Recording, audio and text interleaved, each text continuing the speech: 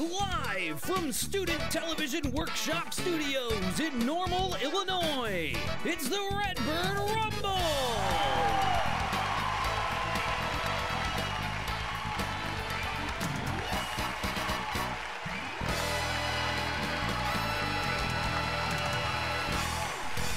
And now here's your host of the show, Lindsay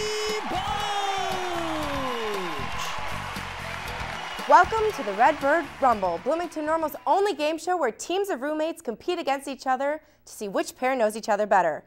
I'm your host, Lindsay Boach, and before we meet today's teams, let's explain the rules of the game. Teams consist of two roommates. Before the show, we had them both fill out surveys. In each of the two first rounds, contestants will try and answer questions from the surveys about their teammate to see which team knows each other better. Each correct answer in round one is worth one point and two points in the second round. The team with the most points at the end of the first two rounds will get to go to the Rumble round for a chance to win our grand prize.